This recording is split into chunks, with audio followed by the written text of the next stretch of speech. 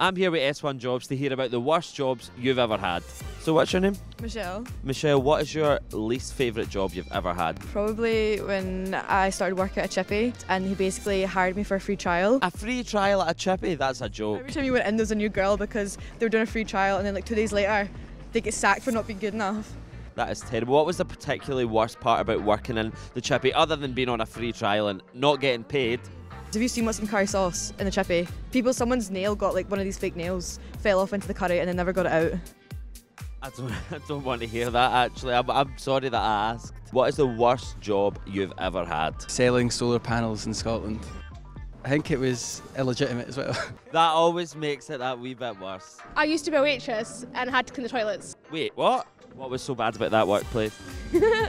the staff members. Staff members, not even the employer. To all of Astrid's former colleagues, I hope you're happy, because she wasn't. So there's loads of stinking jobs out there, but with thousands available across Scotland, you'll find the one at S1 Jobs.